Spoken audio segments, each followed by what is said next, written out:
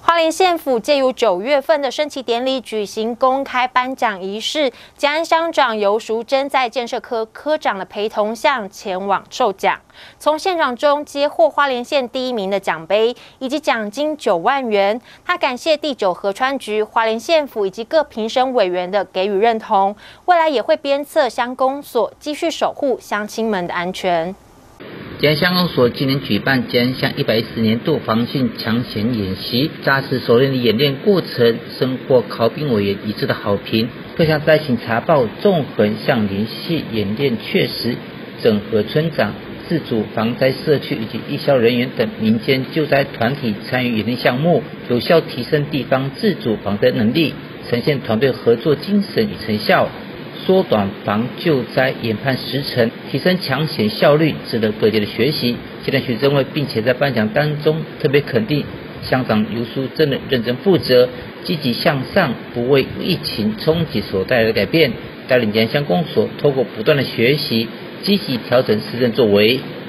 乡亲的生命财产安全，我们所有天灾的防范，我们提早准备。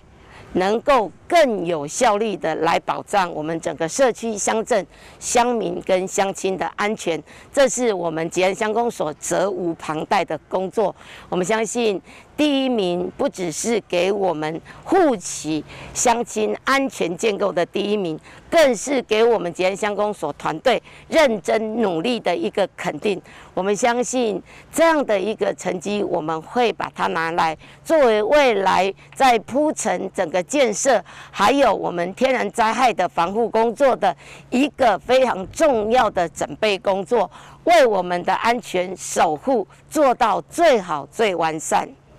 今天，相当有声感谢每位参与协力单位以及工作伙伴全心全意的付出，重视守护乡亲生命财产安全。他强调，落实救灾抢险工作是乡公所责无旁贷的工作，未来会积极的串联多方专业资源，准备各项防洪防灾措施，加强熟练防灾技术，以期许防灾准备以及救灾能力上不断的进步。并在灾害发生的时候发挥最大效能，减少灾害的损失。记得九英黄世报道。